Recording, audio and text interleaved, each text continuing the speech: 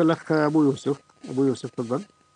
السلام عليكم ورحمة الله. عليكم السلام ورحمة عليكم الله وبركاته. السلام ورحمة الله وبركاته. الشيخ عبد الله كيف الحال؟ يا مرحبا ومسهلا فضيلة الشيخ الله يحفظك. السؤال الأول عندي سؤال ثلاث أسئلة نعم السؤال الأول الحديث ال- الدنيا ملعونة وملعون ما فيها إلا ذكر الله والحديث الثاني اللي يقول لا تسبوا الدهر.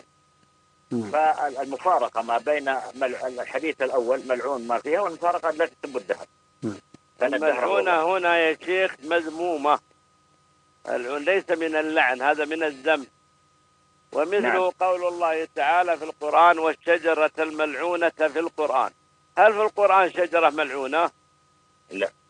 ما في في شجرة مذمومة إن شجرة الزقوم طعام الأثيم كالمهل يغلي في البطون كغلي الحميم فاللعن في هذا الحديث بمعنى الذم. و... والسؤال السؤال- و- ولا تسبوا الدهر هذا موضوع ثاني. أي هذاك في السب والشتم نعم. الحياة السؤال الثاني آه، بخ بخ ذلك مال رابح. ما معنى بخ بخ؟ يعني هذه الكلمة يعني تقال للتعجب الظاهر. نعم. يعني للتعجب. هذا المال الذي تصدقت به والبيرحاء ذلك مال رابح يعني ما في أربح من التجارة مع الله يا نعم. أيها نعم. الذين آمنوا هل أدلكم على تجارة تنجيكم من عذاب أليم قال الله في سورة فاطر يرجون تجارة لن تبور لا تخسر أبدا وهي التجارة مع الله. نعم يعني كلمة بخ بخ هذه تعني آه، الاستعجاب يعني. التعجب التعجب نعم. نعم. السؤال الثالث والأخير إن شاء الله. فرفع يديه عليه الصلاة والسلام حتى بان عطرتي إبطي. ما معنى عطرتي الظاهر إنه بان إبطيه نعم. نعم. نعم.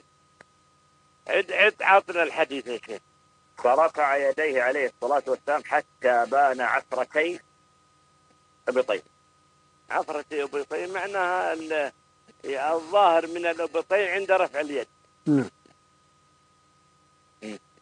تعرف الأولين طيب. ما عندهم قبطان عندهم مثل ثياب الإحرام. نعم كنت بس وقفت أنا عند عثرتي هذا المقصود اذا يعني. اذا اذا إذا رفع الإنسان يده وهو محرم يبين لك ابطه ولا لا؟ إلا. نعم نعم. نعم. نعم. جزاكم الله خير. مثل هذه الأسئلة لو راجعتها يا شيخ. آه، في نعم. شيخ اسمه جوجل. ما أنا أنا والله يا فضيله أنا فضيلة الشيخ طبعا أنا لا ما أسأل لا أدخل لا جوجل ولا أسأل ولا حاجة أخذ من العلماء على طول. ولو يا شيخ ولو ترى إحنا لأنه نسأل. جوجل لأنه جوجل هذه فيها الصح وفيها الطالح ما أقدر أنا يا يعني شيخ هذه جوجل أشياء الآن لغوية. هذه أشياء أقول جوجل الآن يا شيخ ما إيه. يستغني عنها أحد. والله ما لكن أكيد أكيد. يدلك يدلك. نعم. إن شاء الله الله يديك العافية على. كل حال. شكرا. شكرا لك. شكرا لك